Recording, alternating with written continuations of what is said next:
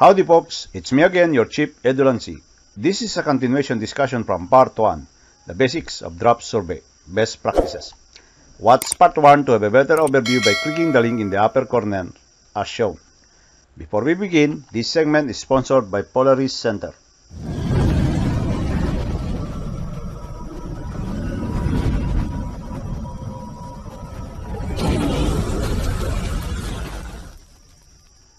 For more details, check infos in the description area. Polaris Center. Enroll and see for yourselves. Let's begin. Part 2 segment contains the procedures and calculation processes. This includes formula, including abbreviated signs, letter, and symbols. Note, abbreviation may differ in some shape, but generally it has the same usage and approach.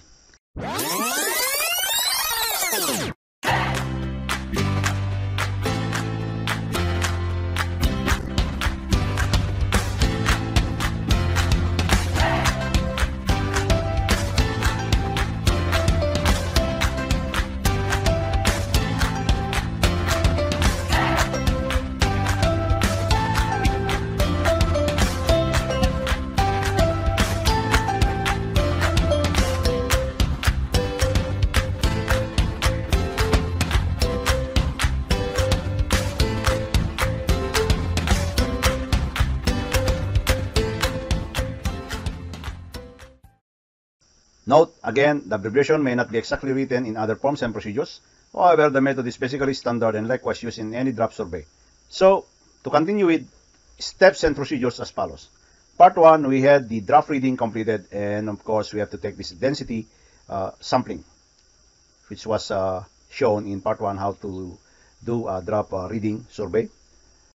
2. Testing and determining the density whether it's on seawater or dock water is quite important and in most cases we take uh, different depths of uh, water and each side of the vessel just to make sure and get the average of these densities. Because there are cases that the densities that you might get on the shallow part of the water is different when you go a little bit deeper wherein the vessel is submerged.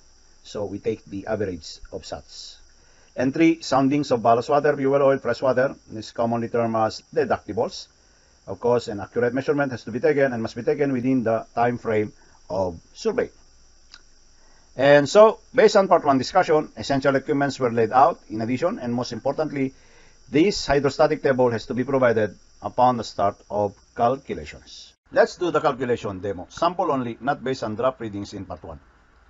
Here are the list of the following data gathered. These are the six points draft readings as follows. Number 1, observed draft, forward, port equals to 7.6 meters. Number 2, observed draft.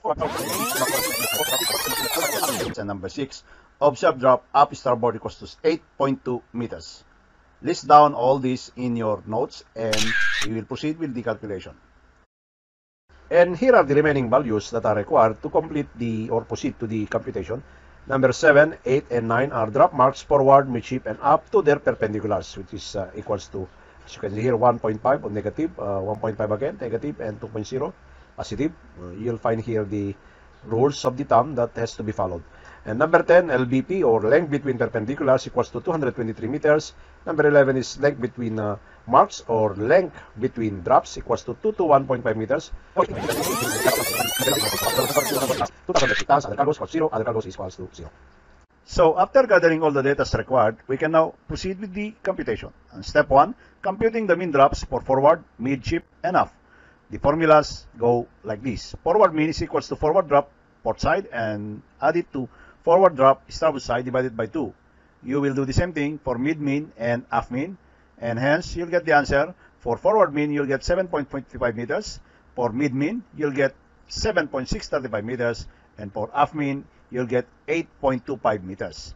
Step 2, we'll have the apparent trim. The formula is mean draft aft, subtract mean draft forward. So mean draft aft is 8.25 meters, which is subtracted by 7.55 meters, which is the forward mean. And the answer is 0.7 meters. Let's proceed to step 3, computing the perpendicular corrections for forward, mid, and aft. The formula is the perpendicular correction for forward, mid, and aft is the correction or DMF, DMM, and DMA multiplied for each by the apparent trim over length between marks or length between drops. In this example, we have 1.5 and 1.5 also for the mid correction and the up correction is 2.0 multiplied by 0.7 over 2 to 1.5. We have now the answer for the perpendicular correction forward which is 0.0047. Mid is 0.0047 as well and then up is 0.0063. Now we apply the rule of the thumb which is if trimmed by the stern then forward correction is subtracted.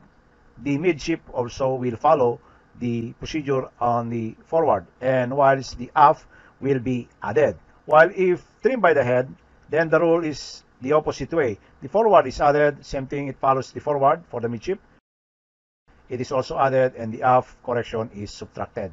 So in this scenario, we are subtracting the forward from the mean draft, which is 7.55 minus 0.047 or 0.0047 and, and the midship 7.6635 which is 0.0047 and up is 8.25 which is plus 0.0063 we have now a corrected draft or we can also term it as true draft for forward mid and up which is 7.5453 and then 7.6303 and 8.2563 so take this down and include it in your notes. Continuing on step 4 how to get true trim. True trim equals to true observed draft aft corrected minus true observed draft forward corrected which is equals to 8.2563 meters minus 7.5453 meters equals to 0.711 meters in this example. And step 5, getting the mean drafts equals to mean forward and aft draft equals to true observed draft forward corrected plus true observed draft aft corrected divided by 2. So 7.5453 plus 8.52563 divided by 2 is 7.9008 and we have that mean forward and aft draft. Let's continue. Step 6, how to get mean of mean. Mean of mean equals to mean draft plus corrected midship draft divided by 2 equals to 7.9008 plus 7.6303 divided by 2 equals to 7.7656. Then uh, on step 7, how to get is quarter mean. Quarter mean equals to mean of mean plus corrected midship draft divided by 2 equals to 7.7656 plus 7.6303 divided by 2 equals to 7.6979. So mean of mean equals to 7.7656 while quarter mean equals to 7.6979. Take note that you will notice here that I am using 4 decimal places. So it's up to you. You can utilize 5 or more. The difference is negligible. Step 8. Get the exact displacement equivalent to quarter mean. Method 1. Using the hydrostatic table, find the equivalent of quarter mean using two decimal places. Example, from previous computation, we had quarter mean equals to 7.6979. Hence, with two decimal places, quarter mean equals to 7.69. From hydrostatic QM, 7.69 equals to 2961.7 tons, LCF equals to 87.282, and TPC equals to 41.4. Hence, A, get the QM remainder equivalent, QM equals to 7.69 79 minus 7.69 that is with the two decimal places equals to 0.0079 times 100 equals to 0.79 b 0.79 multiplied by the TPC of 41.4 equals to 32.706 metric ton. Quarter mean 7.6979 displacement is now equivalent to 2961.7 plus the Q quarter mean remainder 32.706 equals to 29654.406. As we continue, uh, take notes and verify the computations. Right, method 2 is uh, recommended by applying interpolation from the hydrostatic tables. Procedure A. Get the closest lesser and greater available value for 7.6979 based from the hydrostatic tables. We'll find 769 equals to 2961.7. 2 is the missing value. And 3, 7.7 displacement is 29663.1. And using interpolation formula, this is how it goes. 7.69 equals 2961.7. 7.6979 is the missing value. And 7.7 equals to 29663.1. Hence, using multiplication or cross multiplication, we'll find that x is equals to 41.4 times 0079 over 0.01 the answer will be 30.706 and hereby we'll find the same answer now I'm using this kind of uh, interpolation and uh, most recommended because if you'll go to the hydrostatic table as shown here, you'll find here in this uh, another set of hydrostatic table. Uh, not it's not the one that used in the previous demo. So you'll find here that 7.65 has a 110.4 TPC and 7.7 is 110.5. So if you're looking for 7.6979, then if you use 110.4 as your uh, multiplier, then you will have a different value. So that means to say you have to uh, interpolate as well your TPC. So that's why uh, interpolation is better so that if in case the TPC is not the same to the next value, then it will be more accurate.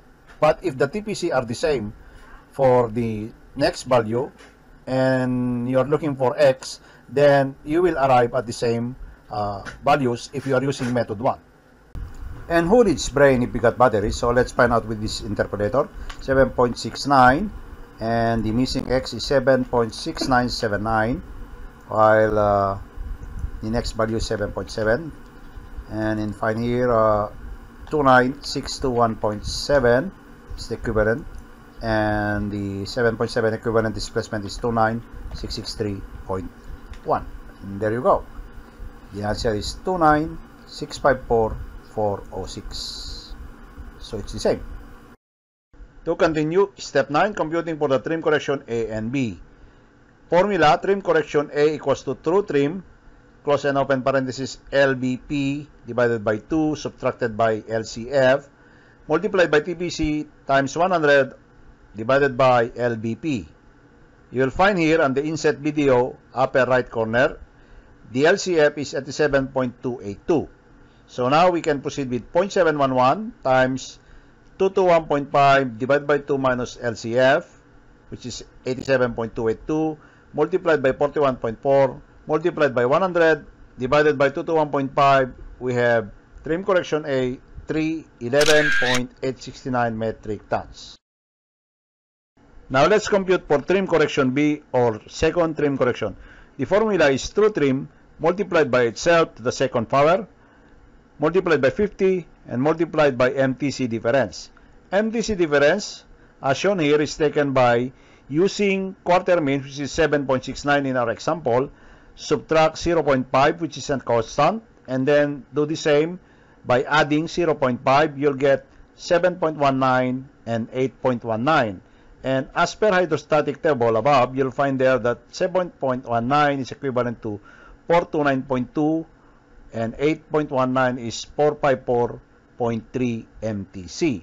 You'll get the difference is 25.1. And so 0.7111 to the second power times 50 times 25.1 divided by 221.5 equals to 2.864 metric tons. Finally, let's apply first and second trim correction. Displacement corrected was 29654.406. Trim correction A is 311.869. And as per rules to follow, if trim by the stern, follow LCF sign, and trim by the head, reverse LCF sign.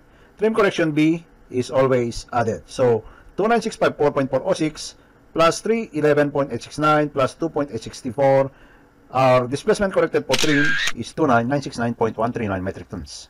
This displacement is also called even keel displacement. Step 10. Density correction. Then we apply to displacement corrected trim. Density correction formula equals to displacement times 1.025 minus observed density divided by 1.025. 29969.139 times 1.025 minus 1.027 which is the actual density divided by 1.025 equals to 58.47 metric tons. Note, if actual density is greater than 1.025, then density correction is added, whilst if density is lesser than 1.025, then density correction is subtracted. Thus, corrected displacement for trim equals to 29969.139 metric tons plus 58.47 metric tons. We have now the displacement corrected for density equals to 30027.609 metric ton. And we're almost done. Step 11, get the dead weight, subtract from displacement, corrected trim and density. Procedure displacement corrected to density equals to 30027.609 metric tons. Light ship is 12352 metric tons. Subtracted from 3002.7.609 equals to 17675.609 metric tons. This is your dead weight. And finally, we have step 12, apply known weights. So we have the dead weight of 17675.609 subtracted with uh, 7750. So we have a constant or cargo of 9925.609 metric tons. Take note, if you are doing an initial survey and in ballast condition, then the result or value is, we call it as actual constant of the ship. And if you are doing a final survey and if you take the difference, then what you get is the constant and at the same time the total cargo loaded. Uh, of course, uh, you can also have an intermediate survey with uh, SATs.